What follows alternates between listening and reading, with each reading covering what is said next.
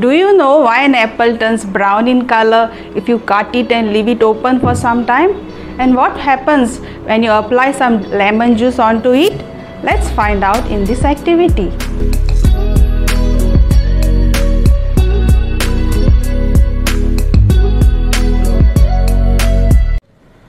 In this activity, we shall demonstrate the oxidation reaction of an cut apple. For this activity, we need an apple and a lemon.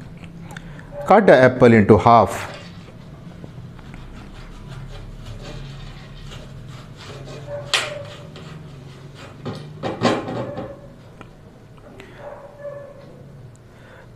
Cut the lemon and apply lemon juice on the surface of one half.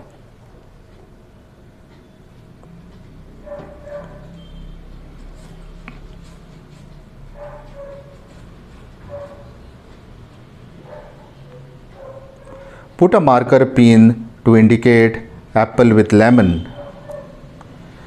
Leave the apple exposed to air and observe the two halves after some time.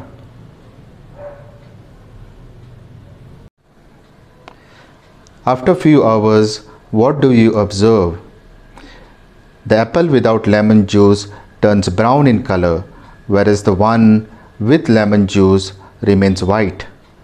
Why does this happen?